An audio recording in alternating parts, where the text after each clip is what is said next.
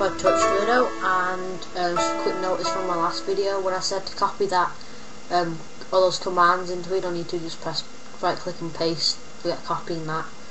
And now I want to show you how to um, um, easily reboot it even quicker than that. It only takes a few seconds, does everything by itself, no commands or anything. First you want to click on the um, link in my video description and download that. Just really quick and easy to go on that. I'm going to type it in download file, only take a minute. Put that on, then you should get something like this, right there. iPod Touch 2G booter. Double click on that. These files, it's not, doesn't matter whether you use Redsn0w to jailbreak it or not, but uh, I'm going to click on V vBooter.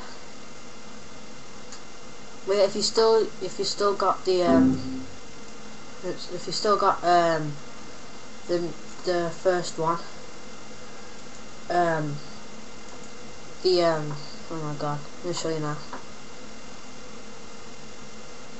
Well, if you still got that sideward thing I showed you in my last video, then yeah, keep it still, just in case. It doesn't work, you can always just use that again. It should work. First of all, you want to put your in DFU mode. Actually, if you go into it, you don't have to put it in DFU mode, or if you're not very good at it. There's also, um, click on boot. Wait, wait, wrong one actually. DFU helpers, that there. This will help you, tell you how to put in DFU mode, go ready, show you the fingers and everything. Um, so yeah, okay, first of all it says that iPod found in normal mode, so you're gonna just close that. Put it in DFU mode, so hold that for 10 seconds. Five, four, three, two, one. Let go of that. Eight, seven, six, five, four, three, two, one. There you go, just wait for it. Okay, now if you open it up in now, iTunes will, it says uh, found iPod in DFU mode, so you want to click on boot, hold everything by itself, just wait, see that, it's an iPod, it's all white, white, 2G as well, let's show you that, yeah, Chrome back, everything, so good, just keep watching it, it'll boot by itself. It's actually quite quicker because it because the commands you're supposed to put in, but put it straight away. So that'll help lot.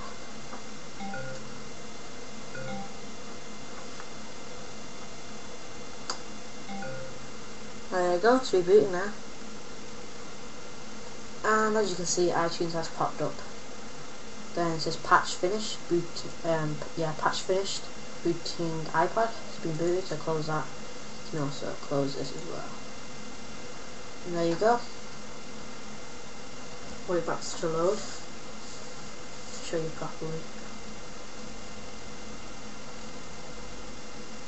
I'll make another video just in a second now on how to really quickly um, reboot your, not reboot, um, keep your iPod Touch 2G alive if you got tethered or any, you know, just to make it constantly charge without using too much power.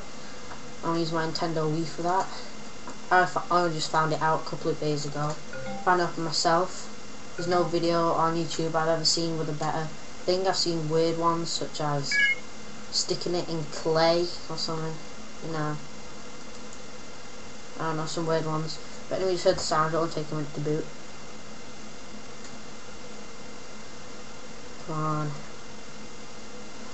There you go. See that? It's rebooted. Obviously mine's charging, so...